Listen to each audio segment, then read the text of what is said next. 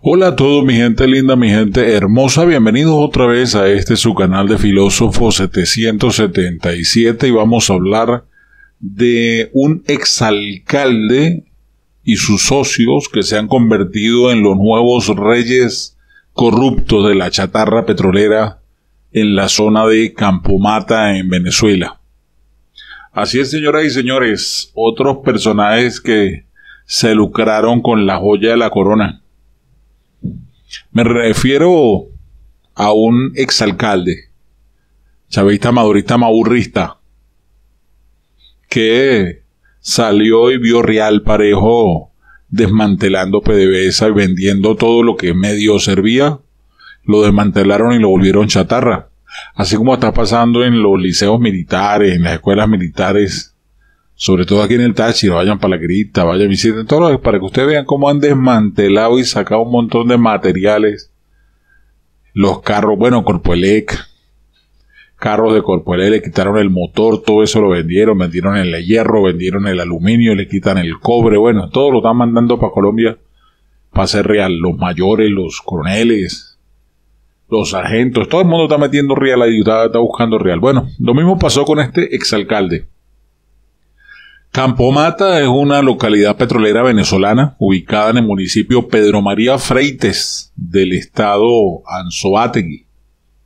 Este municipio Freites fue gobernado por el activista del Partido Socialista Unido de Venezuela, un hombre llamado Daniel Florencio Aro Méndez, quien ejerció como alcalde en los periodos comprendidos entre el año 2013 al 2017 y repitió del 2017 al 2021. Antes de ser alcalde, Aro había trabajado en Petróleo de Venezuela.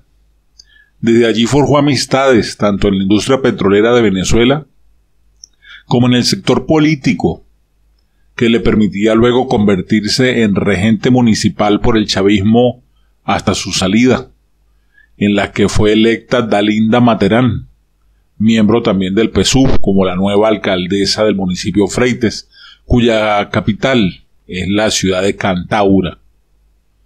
Daniel Aro ha cambiado nuevamente de intereses para regresar a la industria energética venezolana, pero en esta oportunidad abocándose a desmantelar la infraestructura petrolera que está siendo exportada como chatarra desde Venezuela hasta Turquía y a otros países del mundo.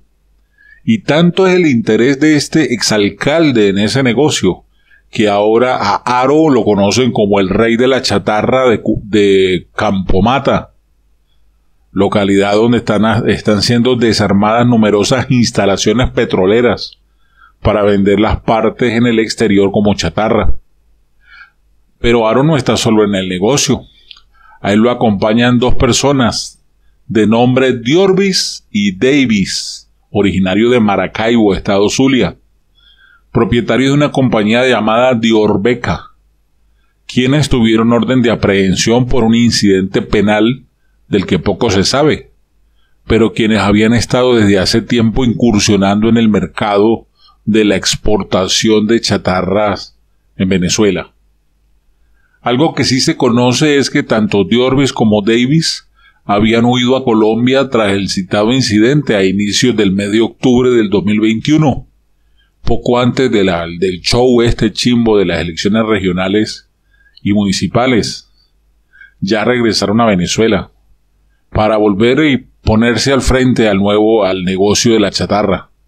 Algunos dicen que el regreso de ambos maracuchos a Venezuela fue posible gracias a que supuestamente le pagaron una vacuna o soborno entre 300 mil y 500 mil dólares en efectivo a un poderoso del chavismo en Caracas para que lo dejara tranquilo trabajar nuevamente en el mercado chatarrero. Desde entonces, tanto Aro como Diorbis y Davis se van convirtiendo paulatinamente en amos y señores de estaciones de servicio, estaciones de bombeo, tuberías, en estado deteriorado y de abandono en Campomata, que incluyen geográficamente las zonas y estaciones petroleras de la batería 6, Zapato, Complejo Criogénico Zapato, Mata R, La Ceibita, Melones, Bare, entre otras zonas próximas a la ciudad del Tigre, donde se encargan de extraer también chatarra petrolera. Los contactos de Aro, quien comanda también las operaciones de extracción de chatarra, han sido de vital importancia para Diorvis y Davis. Poco antes de su salida de la alcaldía del municipio Freites, Aro dejó encargado a Ridangel Pérez, director general del ayuntamiento, de las funciones como primer jefe municipal. La nueva alcaldesa, mientras era antes registradora civil de Cantaura durante el gobierno de Aro. Por tal razón se piensa que Aro, pese a dejar de ser alcalde de Freites, continuará gobernando de facto y que la nueva alcaldesa responderá solo a los intereses del exalcalde. La terna de Aro, Diorbis y Davis se está encargando también de picar y vender como chatarra varios buques petroleros y pesqueros varados en la isla de Margarita, en el estado de Nueva Esparta. En sus inicios en PDVSA, Daniel Aro fue chofer de Luis Marín, exdirectivo de la energética de Venezuela y expresidente de Citgo, petrolera venezolana en los Estados Unidos. Aro también tuvo nexos cercanos con Wenceslao Madal, exgerente de PDVSA Gas, empresa de la que el, exalcalde fue contratista. Esas y otras relaciones de Aro en la industria energética venezolana se produjeron en un ambiente siempre dominado por la corrupción. En el mes de agosto del 2020, el exalcalde reconoció en un video con la ayuda de líderes del gobierno socialista que fue trasladado a Caracas para recibir tratamiento por causa del bichino en el Hospital de Clínicas Caracas, un centro asistencial privado, en el que la atención puede oscilar entre cientos y miles de dólares. En el video el alcalde le agradeció directamente a Diosdado Cabello, entonces presidente de la constituyente, dominada por el chavismo. Le agradeció a Aristóbulo Isturiz, quien era ministro de Educación, a Pedro Luis Marino Olivares, figura que llamó la atención de muchos en las redes sociales.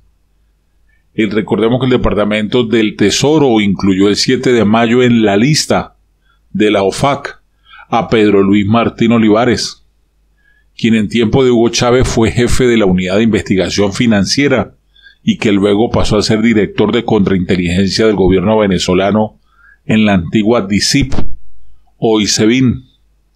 Junto con Martín Olivares fueron sancionados bajo la designación de cabecillas extranjeros en NARC óticos.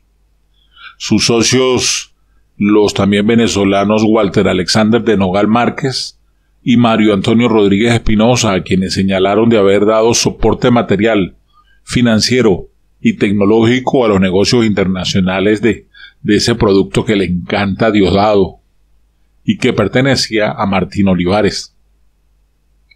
Bueno, ¿cómo le parece? Esta es la joyita de alcalde que ha hecho Real Parejo desmantelando PDVSA. Así que se gobierna, señor chavista, madurista, maurrista, así. O más claro, mientras usted aguanta hambre, estos se hacen ricos jodiéndose y acabando con lo poco que le queda al país. ¿Ah? Déjame tu opinión en la caja de comentarios. Se despide su hermano y amigo con esta frase del día. El fracaso es parte de la vida. Si no fracasas, no aprendes. Y si no aprendes, no cambias. Medita en eso. No te estoy diciendo que siempre busques fracasar, sino que cuando esto ocurra, que este fracaso no sea para chicopalarte, para reducirte, para frenarte. Al contrario, que sea para aprendizaje para impulsarte, para catalizar, para aprenderle el movimiento a lo que quieres hacer, para que active el cerebro, para que muevas tantas cosas necesarias y corrija lo que tienes que corregir. Utiliza el fracaso de esa manera. Hasta aquí te hablo tu hermano y amigo filósofo 777. Un abrazo rompecostillas. Todavía sigo esperando que los cuatro ganadores del sorteo del 2 de diciembre, pues no lo hice el primero sino el 2, eh, se contacten conmigo. Ahí está el video, pueden buscarlo. Pueden seguirme en mis redes sociales, pueden seguirme en Telegram, puedes buscarme en WhatsApp. Toda la información te la dejo en la descripción de este video. Un abrazo rompecostillas, me despido. Bendiciones.